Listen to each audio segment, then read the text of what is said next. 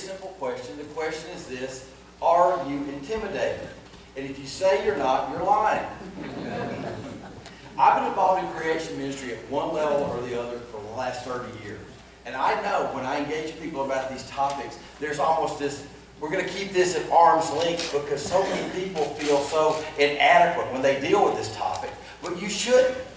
I mean, we've given lots of pastors tours at the Creation Museum. And a lot of those pastors, you know, those tours, tours have come to me and said something like this. Well, Tommy, this is amazing. The museum's very professionally done. We love the message. This is a very solid biblical message. I love what you're doing here. But there's no way I'm going back to my church and dealing with this topic. And then you kind of go, well, why would you say you think something's biblical, but you're not going to deal with it in your church? Well, they don't feel like they're scientifically or technically, uh, you know, trained enough to deal with this. Folks, it's not that way at all. The world has allowed the church to believe it's faith versus science. You know, the scientists have this information, but if you believe this word, that's faith. You're not scientific.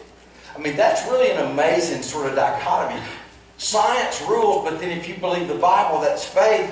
Folks, without an orderly creator God who puts in place an orderly universe, you can't even have science. Chinese paleontologist lectures around the world saying that recent fossil finds in his country are inconsistent with the Darwinian theory of evolution. His reason? The major animal groups appear abruptly in the rocks over a relatively short time, rather than evolving uh, gradually from a common ancestor, as the theory predicts. Here's a scientist. He's out looking at these rock layers. He says, well, in this rock layer I see this fossil. In this next rock layer I see this fossil. Then in another rock layer, I see this fossil. That's really fascinating. I see these fossils. But according to evolution, this creature is supposed to have evolved into this creature over millions of years. Then over the next few millions of years, this creature is supposed to have evolved into this creature. But in the rocks, you know what I see? I see this creature and this creature. What about all these intermediate forms, all these many steps it's going to take to evolve from one kind to another? I don't see any of those fossils. When this conclusion upsets American scientists, he comments, in China, we can criticize Darwin, but not the government. In America, you criticize the government, but not Darwin. And folks, if you don't think that's true, go to any secular college or university and tell them you do not accept Darwin's ideas. If you're going to do that, I got one suggestion before you tell them that. You better pack, because you're done. I mean, we've got case after case after case and testimony after testimony after testimony of, of secular scientists, not even Christians, who on whatever basis, you know, all the information in my field does not make me accept Darwinian evolution. Those people are ostracized. That's not an allowable concept. But see, science has won the day in our world. You can't watch TV without being bombarded with all the wonderful things that our modern technology does for us. I mean, you see things like this. The day the universe lit up, Scientists uncovered a second creation 100 million years after the Big Bang. Now, folks, when you see that, the first thing you think is, wow, that's very professionally done. And you read the articles and things are presented in such a definitive, absolute fashion, and the diagrams and illustrations are so wonderful, you kind of go, but what if they're? You can't help but think that. We deal with this stuff all the time at Answers in Genesis. Every time a new dinosaur fossil is found, or every time the physicists think they've discovered some new particle, or it's this and that. And when you read the secular you know, news media, when they present these things, they present it as absolute fact. And then three months later, when somebody else tries to reproduce the experiment and they find out that it wasn't that way at all, you never hear that because we worship science. And the thing is, I've always been the science whiz kid. I mean, I'll just tell you, the only gift God's ever given me is science. I mean, I'm just a poor kid from the wrong side of the tracks who just happen to know all the answers on the organic chemistry test. I mean, that's just that, that's just the gifts I have. I mean, from the fourth grade on, I was always the kid that took the advanced science classes. You know, if I was in the class, people would go, well, curve's blown. Sorry. I'm not, I'm not apologizing for making A's in science. Now, my other classes, not so much.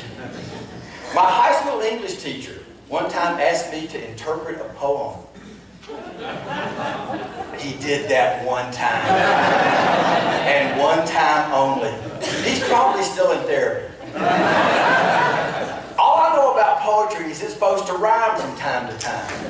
Except when it's not supposed to rhyme from time to time. And there was something about iambic pentameter. And that sounded really scientific to me, so I spent like six weeks trying to figure out what it meant and had no clue. I am a science kid. But on November 1st, 2006, something really amazing happened to me. I became, in the eyes of the world, an idiot. That's the day I joined Answers in Genesis Ministries as a full-time staff member. You see, before that, for the 30 years before that, I was an honorable physician. I have an earned doctorate. I made great grades in all my science courses. But that day that I joined Answers in Genesis, the world said, Tommy, you're an idiot. You know why? My ministry is about one thing and one thing only. It's about the authority of this word. So they said, you've abandoned science. You're not scientific anymore. And that cut me to the core. Because that was all I was. I mean, Tommy didn't know how to do anything else but science, and now I can't even do science. And that really, I was trying to wrap my mind around that. So I was thinking, what was it I could do yesterday that I'm no longer, you know, sufficiently capable of doing? So I looked up the definition of science. I want you to see if this helps you. The principles and procedures for the systematic pursuit of knowledge involving the recognition and formulation of a problem, the collection of data through observation and experiment, and the formulation and testing of hypotheses. Does that definition help you at all? See, I was more confused after I read the definition before I started. I said, well, maybe I'm not science. I don't even understand what science is anymore. Folks, science is simply this. It's accumulating knowledge about our world using our senses. But you know what science is done? It's done now. It's done in the present. Science is observable, it's testable, it's repeatable. I love real science. But you know what so-called real science says? 14 and a half billion years ago, nothing exploded. And after nothing exploded, the stars and the nebula and all the, the, the, the, things we see in the heavens formed themselves. And five billion years ago, our sun, you know, formed, and then the dust around the sun formed the planets. And then our Earth was a hot molten blob that cooled down and got covered by water, which nobody, by the way, has ever been able to explain to me how the earth was a hot molten blob and cooled down and got covered by water, but apparently it did. And then the, and then the water accumulated, and then the chemicals that formed and then, and then here we are. That's called science. What I'm going to tell you is this. The Bible is the foundation of my thinking in every area, period. Well, Tommy, yeah, that makes sense about, you know, religious theology issues, relationships, you know, these nebulous things. But science, absolutely. Question one, is the Bible a science textbook?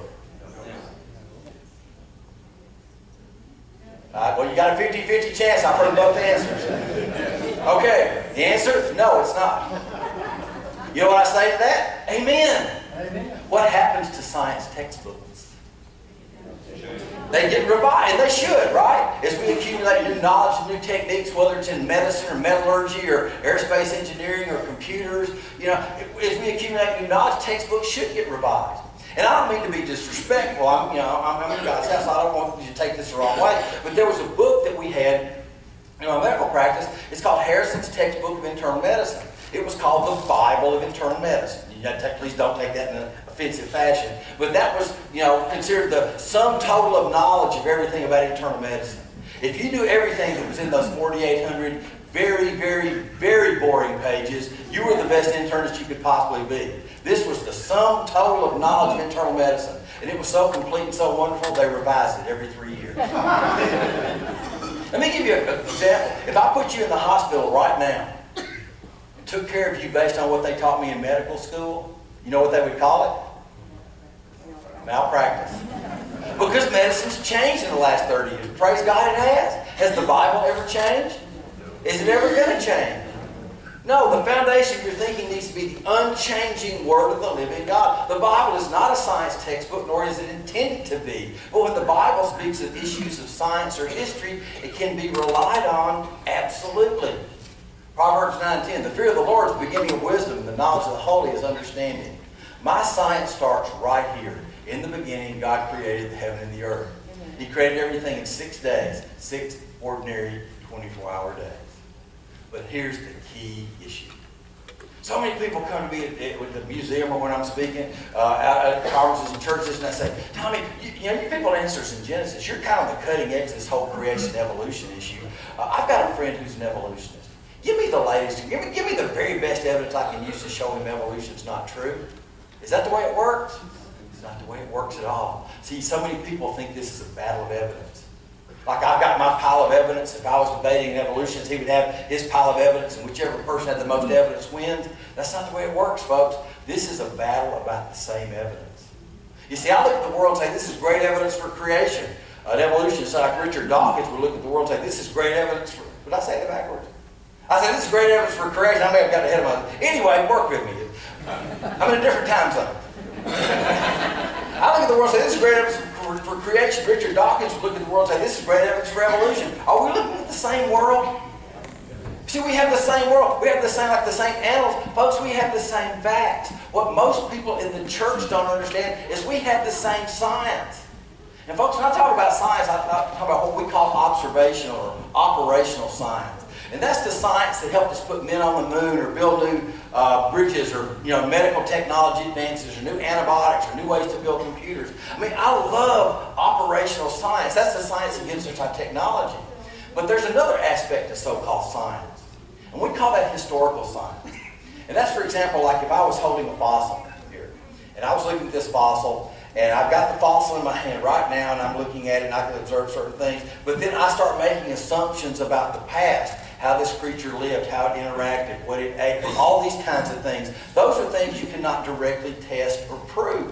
One of the things that, that really proves to me that God has a sense of humor is because I travel a lot. And I don't watch a lot of TV because I just, you know, I got other things to do. But sometimes on Sunday afternoon, you know, between sessions, I'll be trying to find the ball game or something. And no matter what, no matter what hotel I'm in, between the channel I'm on and the channel I want to get to, you know what God puts in between? National Geographic Channel. And they're always talking about ape men or dinosaurs. I don't know, it's, it's 100% guaranteed. And when you watch these shows, I mean, they sort of draw your eye, you know, this dinosaur was this big and such and such. Well, you can measure that from fossils, but then they tell you about how it behaved and how it acted. I was even watching a show a couple of months ago. They were telling us how this particular mama dinosaur cared for her babies. You know what fossils do? They lay there. But just and see, that's the difference. You cannot test or prove those things. And I'm going to show you how this works. Have you ever heard this? Billions of years ago, there was an explosion in space. Or 100,000 years ago, this happened, or that happened. Or even in the beginning, God created the heavens and the earth. Question How does anyone know? I mean, was anybody there to observe it? Well, actually, somebody was, but I'm getting ahead of myself. Check this out. First of all, we need to recognize that there is a huge difference between observational science and historical science. Both are valuable, but very different. Let's define the two real quick, shall we? Observational science is simply when we observe something and experiment to draw conclusions. It involves repeatable experimentation and observations in the present. It's through observational science that we find cures for diseases and build space shuttles, stuff like that. Now, through historical science, we consider things that happened in the past, but they cannot be checked in the same way. I mean, we don't have access to the past like we do the present because, well, it's gone, right? All we really have is speculation, or at best, circumstantial evidences of past events based on what we see in the present. That's not to say that we can't make intelligent guesses about the past or form reasonable inferences from rocks or fossils in the present, but we certainly cannot directly test our conclusions because we cannot repeat the past. Got it? So, does that mean historical science is unimportant? Not at all. Let's drop an example down here for a minute and take a look at the Eiffel Tower. You know, that 19th century Parisian monument designed by Gustave Eiffel that stands 1,063 feet tall, which was built as the entrance for the 1889 World's Fair, and is still the tallest building in Paris today, visited by millions of people each year? Yeah, that one. Well, guess what? Everything I just told you was true, but how do we test it?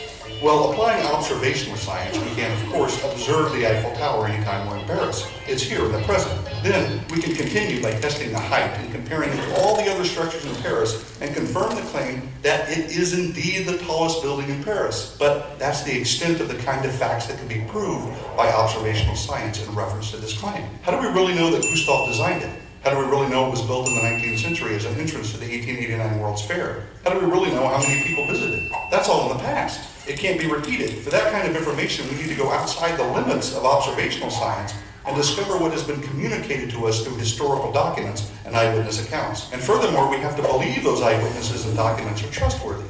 The same is true when we talk about the origin of the earth. The earth is here. We all agree with that. So, does observational science confirm that the world was created by God? And are there trustworthy documents and eyewitness accounts that confirm it? Well, let's take the last part first. In short, what we're really asking is my original question Was anybody there to observe it? The answer is yes. God was there, and He told us how He created. He inspired people to write down His very words that became books that were compiled into a complete book called the Bible, which has been verified over and over again and has demonstrated itself to be totally trustworthy in all it claims and teaches. Even secular scholars will concede that the Bible accurately records historical events. Anyway, we have the most trustworthy revelation the most trustworthy eyewitness. Now, what about observational science? Does it confirm the Bible? Yes. And what's extremely important to realize is the observable fact that the universe is logical and orderly. That makes sense only if its creator is logical and has imposed order on his creation. It doesn't make sense at all if the universe is just an accident of a huge explosion.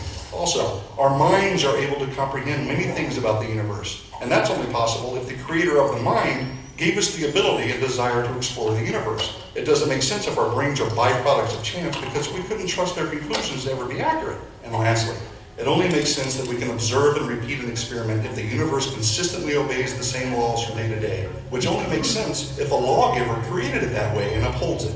So to be bluntly honest, science itself, whether observational or historical, is only possible because God exists and the Bible is true. I could go on, but enough said. So what we're going to do is we're going to use principles of observational science, things that we can actually touch and examine in the present and see if there's any reason to believe this book is in any way reliable. This is a what? My slides are labeled, folks. Work with me here. You get the easy questions, I'll do the hard ones. These are not trick questions. Let's try this again. This is what? This Thank you very much. This is what? What is the Grand Canyon, by the way? It's a big hole in the ground. Exactly. Anybody ever been to the Grand Canyon? Man, big hole in the ground. See those rock layers? Those rock layers are obviously millions of years old. I've been told that any number of times. So you got one or two choices. Either a whole lot of time and a little bit of water cause those rock layers, or a whole lot of water and a little bit of time cause those rock layers. Now, which of those two accounts are you going to hear from me? How about a whole lot of water and a little bit of time? How about the flood of Noah's day? Now, is there any way I can directly scientifically prove that? No, I wasn't there. I have a historical account that tells me of an event, the result of which could be those rock layers, but I cannot directly scientifically prove that. Now, the secularists who say those rocks were laid down over millions of years, can they directly scientifically prove that? No. So you have the rock layers. There are two different accounts. Which of those are you going to accept? I'm going to take God's word. They were result from those rock layers. So guess what? Based on what we can observe, we can actually test, there is no reason to believe that God's Word is anything but 100% accurate and reliable. DNA, the molecule of heredity. Now, I love DNA because it's a biological thing. I spent way too much of my life talking about rocks. I don't like rocks. But nonetheless, DNA is really cool. DNA is, a, is the information system that holds all the information that makes up living things. So all the things that make up Tommy are in my DNA. All the things that are in a goldfish are in the goldfish's DNA. Now, what the secular world says, DNA assembled itself by accident. DNA is, is basically a long strand, hundreds of millions of base pairs, and the molecules that make up DNA are called nucleotides. Now, the nucleotide molecules themselves were supposed to spontaneously assemble themselves in the Earth's vast oceans billions of years ago. And then they started linking themselves together, and they got just the right nucleotide at just the right place, exactly the right way, over millions of, of nucleotides. I mean, just think of the probability of that. It's supposed to be a chemical accident. In 1953, science determined the structure of DNA. The DNA is what's called a double helix. Like you take a ladder and you twist it. It's really a fascinating molecule. But in 1953, when they determined the actual structure of DNA, many in the scientific world said, we're about to be able to read the mind of God. We're about to be able to prove how chemical evolution works. We're on the verge of proving it. Well, Dr. Georgia Purdom is one of my colleagues in the ministry, and she has a PhD in molecular genetics.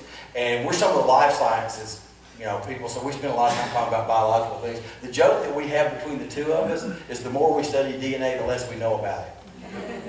Because the basic genetic code I was taught in high school, you know, where you got these the, these nucleotides occur in a certain order, you know, every three nucleotides codes for a particular amino acid. Well, that's still valid. But since that day, there's now a secondary genetic code and a tertiary genetic code. DNA actually codes for information based on how it folds upon itself. There are switches that turn genes on and off. In certain cases, like you've got the gene with the switch that turns it on and off, maybe a billion molecules away. Well, how can it turn it on and off? Well, when the DNA is folded, it just by such a miraculous accident kind of thing, this switch gets put right in front of that gene. Now, what's it? If it's off by one spot, you got a problem. It is precise. DNA is enormously complex, but what the secular world has to believe and want to make you believe, it's a chemical accident. But guess what? Because I'm in such a good mood, if the secular world wants to believe that, I'll give it to you. DNA is an accident. You got those molecules all in exactly the right order, exactly the right place, you can have it. Because even if you grant that, if you gained anything, see, there's more than just chemicals there. DNA is a language. It has a code, it's, it's a coding system. So even if you've got all the links of the DNA in the right order without a way to decode it, you've done nothing. Let me give you an example. If I handed anybody in this room my Bible, I would assume you could read it, right? It's just a standard English Bible. Now, what if I had a Bible that was in Mandarin? If I handed that to you, could you read it? Now, I made the mistake of doing that at a college one time. There were about 30 students from China, but I felt really stupid. But by and large, I mean, you have to have a way to interpret it. Like if I passed a hat around this room and it had like Scrabble letters in it, and three people in a row picked out these letters, B-A-T. What does that mean? It says bat, but what does it mean? Is it a flying bat? Is it a baseball bat? Well, see, the thing is, you'd have to have a language system to know what that word was. If you spoke Swahili, you would not know what that word was. And I have asked two different linguists who speak Swahili, is that word in Swahili? And they told me no. So if they've told me wrong, I've at least done my due diligence. So this is a word name. So you have to have a way to decode it. DNA works the same way.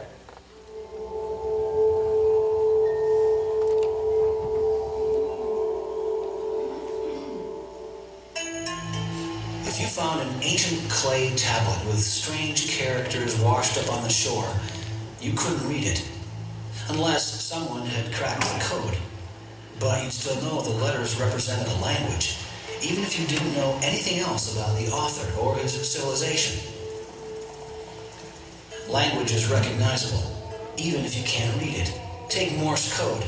It has three basic parts dots, dashes, and spaces. These three simple parts are combined to represent letters. There are 26 letters in the English language, which are combined to form over 400,000 words. Those words can, of course, be combined into an infinite number of sequences or sentences. There is evidence that DNA represents a language. Four basic units, called nucleotides, combine into a code for 20 amino acids. From those few amino acids, the body forms more than 100,000 proteins. Even if you can't read DNA, it still has all the hallmarks of language. A language that biologists are just now beginning to crack. Every tiny cell in our body is packed with three feet of DNA, three billion nucleotides. The similarity between DNA and human language is uncanny. In addition to codes, both use similar techniques to pack, access, rearrange, copy, and translate information.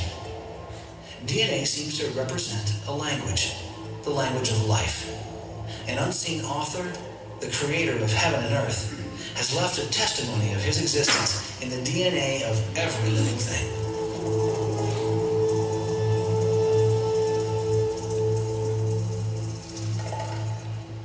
Scientists in our world today, we call them information scientists or information specialists. And what they study is this whole concept, this whole idea of information. Now, we use the word like in normal conversation, we kind of understand what the other person means. You know, give me the information about how to get to Walmart, give me the information about how to make the brownies. Or something that just in conversation, but when you try to come up with a scientific definition of what information is, it's extraordinarily complex. You know what one of the axioms in information science is? Information does not arise spontaneously. There's no known law of nature, no known process, and no known sequence of events which can cause information to originate by itself in matter. Infor- in- information always comes from a higher source of information. Who's the highest source of information? You look at DNA, the only conclusion you can come to, once again, is God's Word is absolutely correct. This is what? Th- th- These questions won't get much easier, folks. Work with me here. I know it's early. But the thing, now, according to evolution, you have you know, these chemicals in the Earth's vast primordial seas, and the first life, the first living cell uh, assembled itself, and you go from that cell to man over billions of years. Now, to go from one cell creature to man, you have to add information or lose information. And there are over 200 cell types that you might have to add an enormous amount of information. So for evolution to work, things have to go from simple to more complex over time, right?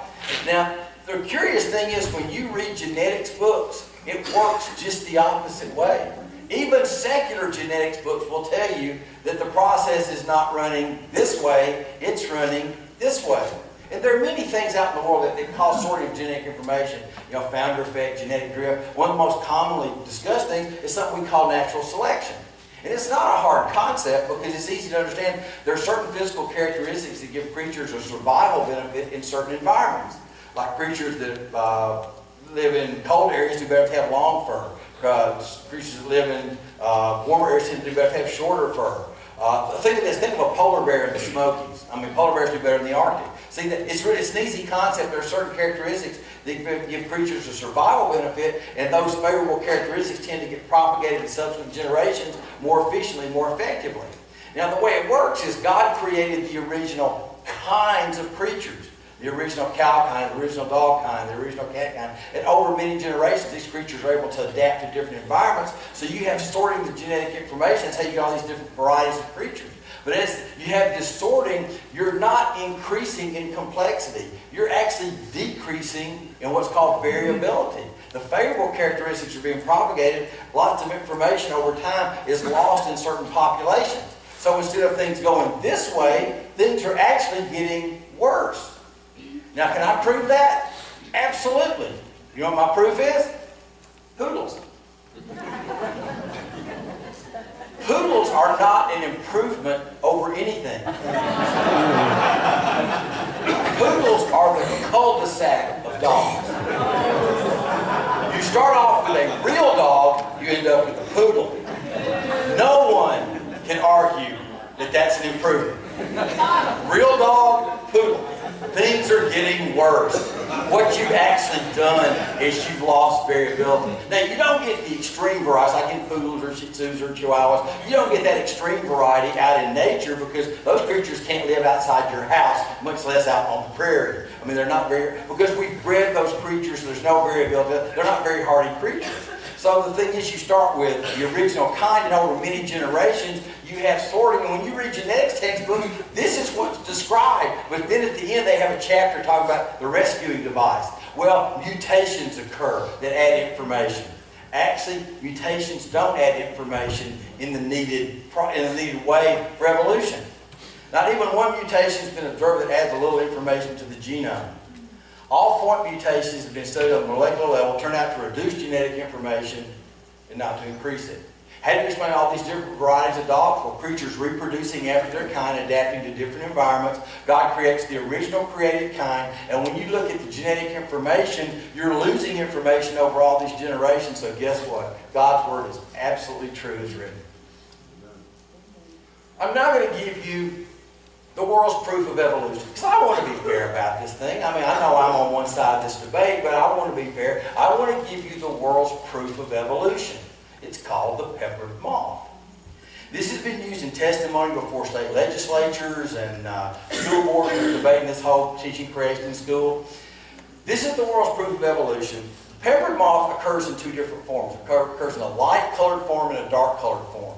And the peppered moth has been studied for like 200 years. Now, this is back before iPhones and cable TV and apparently anything useful to do with your time. England, they would go out in these areas and they'd throw these nets over these trees and they would count the peppered moth. Now, when they first started doing these counts, the, the majority of the moths were of the light-colored variety, very few dark-colored moths. And this is how they reasoned it. They said most of these tree trunks are light-colored. You know, they were covered with lichen, and so they reasoned the light-colored moths would be camouflaged against the tree trunks, and the darker-colored moths could be eaten. As it turns out, it's much more complex than that, but let's just leave it there. When the tree trunks were light-colored, you had more light-colored moths. Well, as the Industrial Revolution progressed, you had a lot of pollution and soot got on the trees and the lichen died. So as the tree trunks got darker, the number of lighter colored moths went down, the number of darker colored moths went up. I noticed somebody was taking notes here. This is really high level science. You want to tell your grandkids this later. Let me start again. When, when the tree trunks were light colored, you had more lighter colored moths. When the tree trunks got dark, you had more darker colored moths. Then, in some of these areas, they enacted some pollution control laws. So over time, the tree trunks started getting lighter again. Okay, I know this. When the tree trunks are light, you had more lighter colored moths. When the tree trunks are dark, you had more darker colored moths. So as the tree trunks got lighter, what do you think happened to the moths? You had more lighter colored moths. This has been called proof of evolution. Because over 200 years, a moth turned into a moth. now, if this moth had turned into an eagle, we'd have something to talk about. Now, what the secular world says is these small changes, may happen over hundreds of thousands or millions of years, that moth will turn into something other than a moth. Does that moth contain any genetic information for anything other than being a moth? No. But that's supposed to be evolution. Here's your next question. How many races are there? One. You know what I was taught when I was in college? Four. I've talked to a lot of people my age over the years. I said, what were you talking about? Do you remember what you were taught? The answers I've heard are three, four, five, six, and seven. You know how people were taught there were different races? This. Because we evolved from ape-like creatures over the last three to five million years. And folks, if that's true, this is true. and ladies, if that's true, this is true. Sad part, that's true, this is true. Because all people groups don't look the same, do they? People in Scandinavia look different than people in Congo who look different than people in China. People groups look different. So what was reasoned by the learning men of the day is different people groups have evolved to different levels at different rates. So if different people groups have evolved to different levels, how many people groups can be the most evolved? One. And they find themselves perfectly justified in looking down on all those other people groups who aren't as evolved as we are. Now let me say this before I go any further, because our ministry gets charged with you know blaming everything on evolution. And that's just not true. Evolution is not the cause of racism. You know what the cause of racism is? Sin, pure and simple. Man's inhumanity demands existence since the time of the fall. However, evolution has been used as a scientific justification for racism more than any other concept in human history. And boy, I've been challenged by the, on this point by the secularists, which is really funny because I got a whole folder full of secular scientists who basically admit that. I've got quote after quote after quote. Here's a, here's a diagram from a textbook in 1927. On one side, you have the modern family of apes. On the other side, the modern races of man. Wow, missing links with mankind in the early dawn of history. Seven human beings considered by the learned men of the day to be less than human, to be closer to the apes. Why? Because they don't look like we do. Folks, we all go back to two people, Adam and Eve. Eve was mother of all the living. We are all one blood. Now, what would cause people, groups to wander off together? Well, how about God confusing the languages and dispersing the people? So Babel, people groups wandered off together. They became reproductively isolated because of the ice age that was that was pending, and then you have these groups that reproduce together. So certain physical characteristics become predominant in certain groups. Those are characteristics we today call racial characteristics, which would more accurately be called ethnic or cultural characteristics. Folks, we can explain all different varieties of people. When you look at those varieties of people through biblical glasses, you come to right conclusions. Yeah, but Tommy, science has proven that evolution is true. They, they've proven that we evolved from ape-like creatures. How about all those fossils? Folks, if you take the fossils and sort them out, you got things that are fully human, you got things that are fully ape. But there's one fossil the secular world's hanging on to for dear life. Lucy, this is grandma. This is our great great great great great great great great great great great great great grandmother. And they know that. I mean, that's a little bit better. They know that because they found that. Folks, that's an ape. Been an ape. It's an ape now. It's always going to be an ape. It is, was, your forevermore shall be. That's, a, that's an ape. So they found that, and they made that. Anybody got a problem with that? Anybody got, a, anybody got a problem going from there to there? Anybody? I don't. You know why? Went to medical school. Taught me something really cool.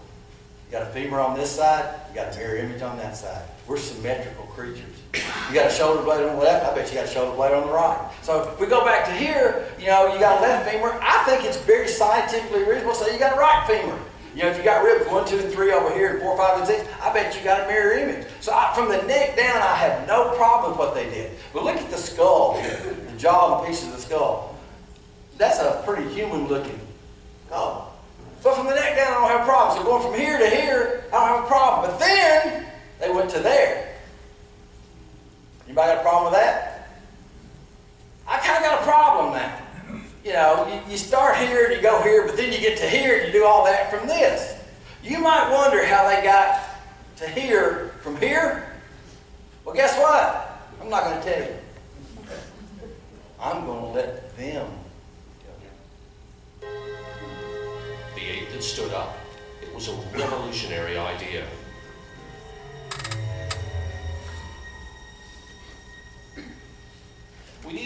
Lovejoy's expertise again, because the evidence wasn't quite adding up.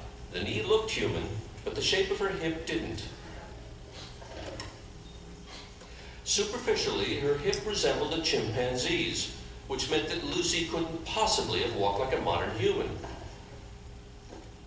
But Lovejoy noticed something odd about the way the bones had been fossilized. When I put the two parts of the pelvis together that we had, this part of the pelvis has pressed so hard and so completely into this one that it caused it to be broken into a series of individual pieces which were then fused together in later fossil.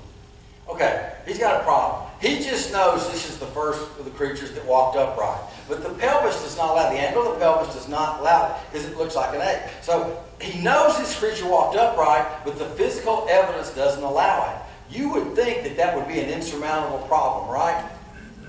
His solution was just incredible. Uh, this has caused the two bones, in fact, to fit together so well that they're in an anatomically impossible position. The perfect fit was an illusion that made Lucy's hip bones seem to flare out like a chimp's. But all was not lost.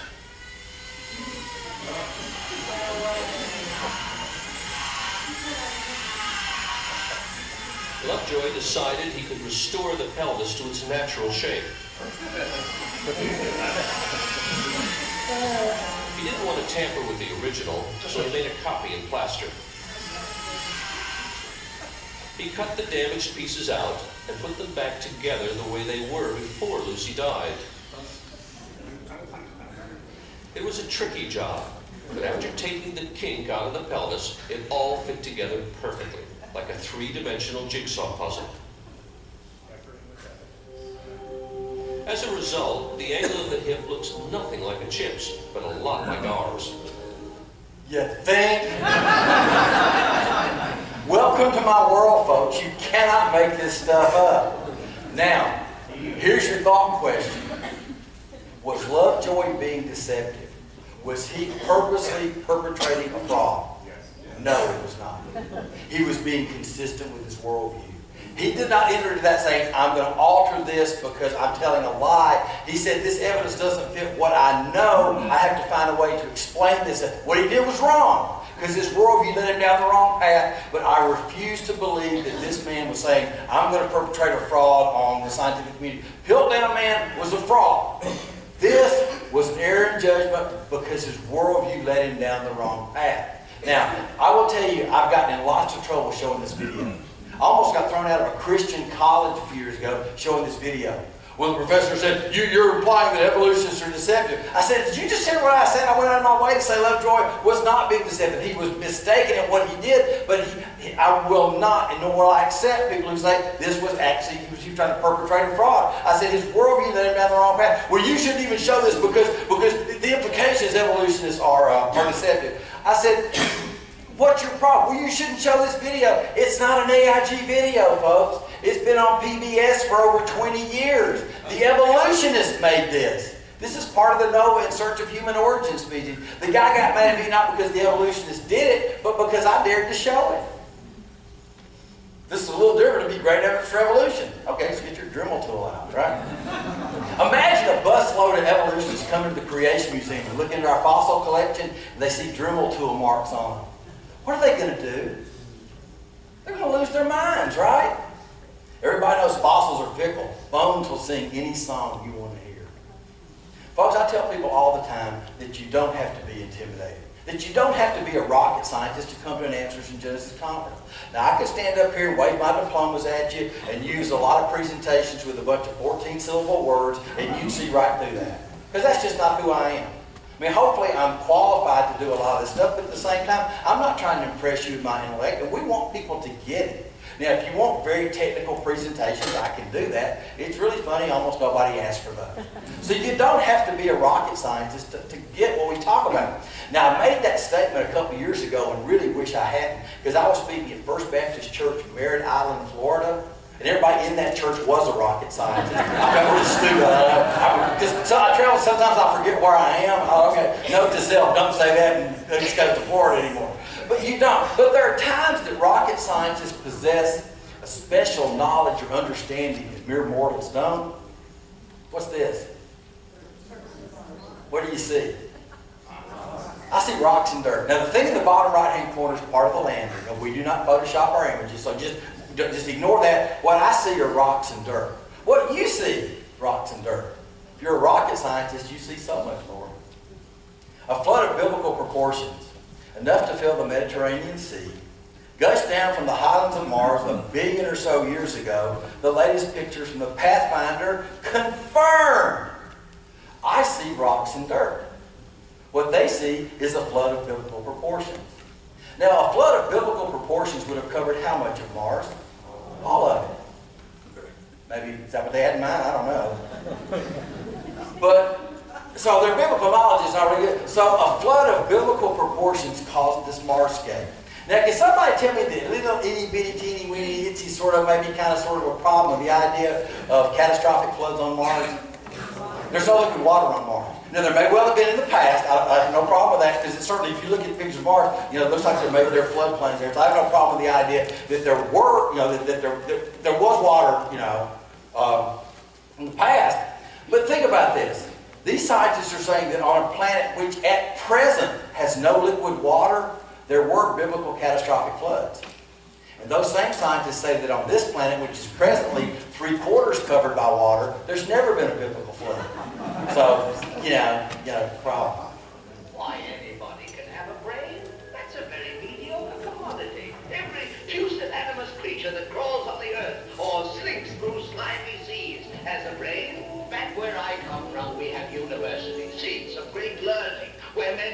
Become great thinkers. And when they come out, they think deep thoughts, and with no more brains than you have. But they have one thing you haven't got, a diploma.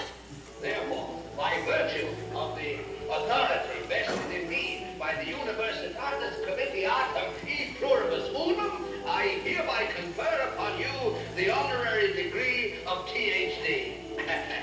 THD? That's Doctor of Thinkology. Some of the square roots of any two sides of an isosceles triangle is equal to the square root of the remaining side. Oh, joy. Oh, joy! Oh, rapture! Anybody catch the mistake?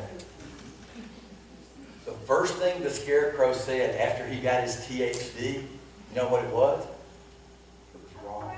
The sum of the square roots of any two sides of an isosceles triangle is equal to the square root of the remaining side. That's wrong. Folks, I'm not going to stand before you in any way mock people with advanced degrees. As hard as it was for my parents to actually accept it, I have an earned doctorate.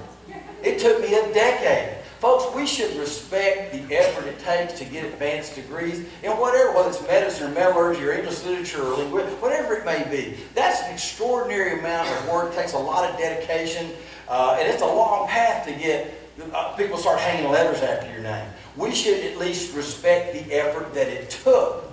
However, I spent the last 40 years of my life around MDs and PhDs, some of the smartest people you could ever imagine. But guess what? What all those people know combined next to what God knows is next to nothing. I got six letters after my name. I am simply Tommy. I'm a fallible human being with feet of clay. We need to understand, we need to respect, we need to honor what learned people have to say. But when somebody says, I have information that contradicts what the all-knowing creator God knows, to me, that's a problem. The earth is billions of years old, take my word for it. Or I created it in six days, take my word for it. You've really got to decide where you stand. 1 Corinthians 8 2. For some reason, my wife thinks this needs to be my life verse. I don't know why it applies to me, but maybe you can figure it out for me. If any man think he knoweth anything, he knoweth nothing yet. as he ought to know. I, I have no idea what she thinks about it. But I'm going to tell you this, the Bible is the foundation of my thinking in every area. And we need not be ashamed. We need not.